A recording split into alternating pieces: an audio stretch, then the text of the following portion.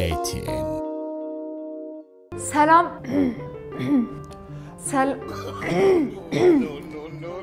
ሰላም ጤና ይስጥልኝ ውድ የኤቲኤን ቲቪ ተከታታዮቻችን ቻናላችንን like፣ share፣ comment፣ subscribe ማድረግ አይርሱ። እናመሰግናለን።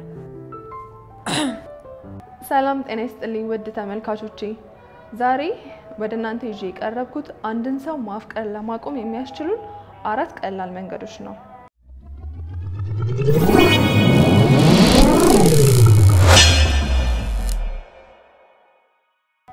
አንድን ሰው ማፍቀር ከማቆም ይልቅ ያንን ሰው ማፍቀር ወይንም መውደድ ቀላል ነው።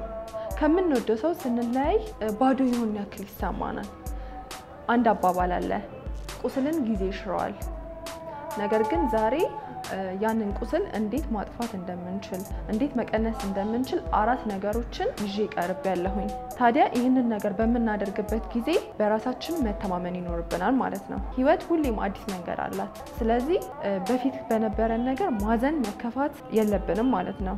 መቶ percent ይህንን ነገር ሊቀንስልን ባይችልም እነዚህ መንገዶች በመከተል ችግሮቻችንን መቀነስ መፍታት እንችላለን ማለት ነው።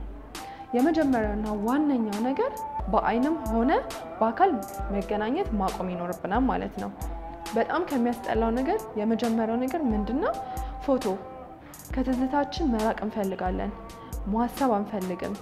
ነገር ግን እነዚህ ነገሮች ካሉ ሁሌም ያስታውሱናል። ስለዚህ እነዚህ ነገር ማጥፋት ይኖርብናል ማለት ነው። ፎቶ ማጥፋት ይኖርብናል። ሌላኛው ደግሞ መደዋወል፣ መገናኘት፣ እነዚህ ነገሮች ማቆም ይኖርብናል።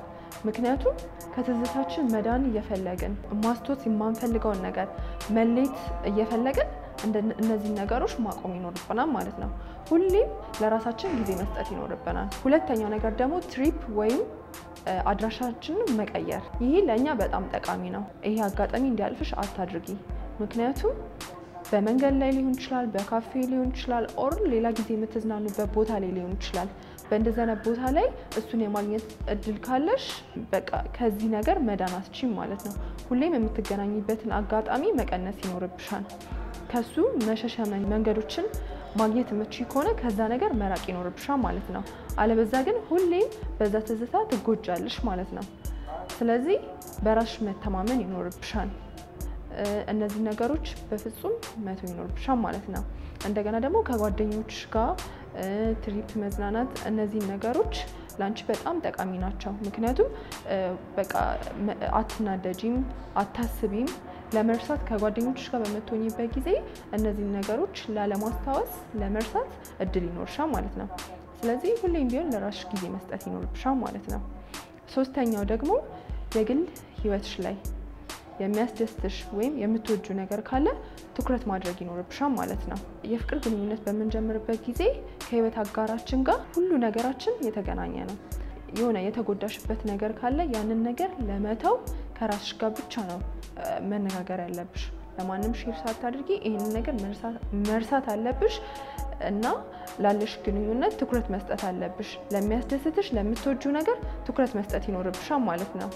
የዛን ሰዓት ከአንቺ በላይ ደስተኛ ማንም ሰው ሊሆን አይችልም። ከአንቺ በላይ ደስተኛ ማንም ሊኖር አይችልም። ምክንያቱም ከሱ ሌላ በቃ ምንም አይነት ነገር አይታይሽም። ከሱ ጋር የምታደርጊያቸው ነገር እጅግ ያስደስትሻል። ስለዚህ አንቺ ማድረግ ያለብሽ በራስሽ መተማመን፣ ያ ሰው ስለሄደ ራስሽን መጉዳት የለብሽም ማለት ነው። ስለዚህ በራስሽ መተማመንና ላለሽ ነገር ትኩረት መስጠት ይኖርብሻል። የዛኔ ታያለሽ ከአንቺ በላይ ደስተኛ ማንም ሊሆን አይችልም ማለት ነው። አራተኛው ስለ ራስሽ ብቻ አስቢ። ቀን በቀን ስለ ራስሽ ብቻ የምታስቢ ራስሽን የምትወጂ ከሆነ ከዚህ በላይ ውጤታማ የሚያደርግ ነገር የለም። መጀመሪያ ራስሽን ውደጂ። ብዙውን ጊዜ ከሆነ ሰው ጋር ከተለያየን በኋላ ራሳችንን በጣም እንጠላለን። ራሳችንን መንከባከብ እናቆማለን። ራሳችንን መጠበቅ እናቆማለን። ስለዚህ ይህንን ነገር ማድረግ በፍጹም የለብንም። ምክንያቱም ህይወት የራሷ የሆነ መንገድ አላት። ህይወት የራሷን የሆነ ነገር ትሰጥሻለች። ከዛ ሰው ጋር ስላቆምሽ ብቻ ወይም ስላቆምክ ብቻ ማንም ሰው የማይፈልግ ማንም ሰው የማይፈልግሽ መስሎ ሊታይሽ አይችልም። ራስሽን መጠበቅ ይኖርብሻል። ራስሽን መንከባከብ ይኖርብሻል። ለራስሽ ጊዜ መስጠት ይኖርብሻል። ስለዚህ በራስ መተማመን ካለሽ ደግሞ ምንም ነገር ማድረግ ትችያለሽ። እነዚህን ነገሮች በማድረግ ራስሽን መጠበቅ ትችያለሽ ማለት ነው። ስለዚህ መቼም ቢሆን ስለተለያየሽ ራስሽን መጉዳት የለብሽም ማለት ነው። እና እኔ የምላችሁ ነገር ቢኖር ህይወት እንዲህ ናት፣ ምንም ናት፣ መጨረሻ ይኖራታል። ግንኙነታችሁ ከእሱ ጋር ስላልሆነ ወይም ከእሷ ጋር ስላልሆነ በፍጹም ተስፋ መቁረጥ የለብንም ማለት ነው።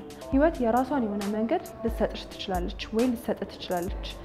ስለዚህ በፍጹም ማዘን፣ መከፋት በፍጹም የለብንም ማለት ነው። ሁሌም ህይወት በምትሰጠን ነገር ደስተኛ መሆን አለብን። ህይወት ሁሌም ደስተኛ ላንሆን እንችላለን፣ ልናዝን እንችላለን፣ ልንከፋ እንችላለን። ስለዚህ ይሄ ህይወት ነው።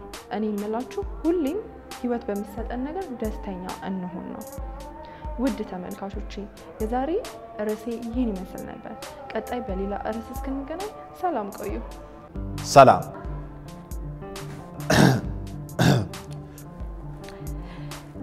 ሰል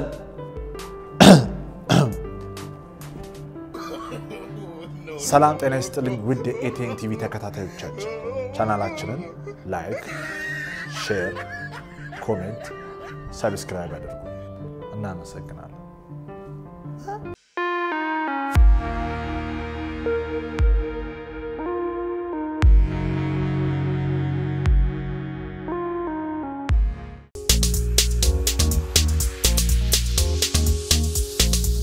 ATN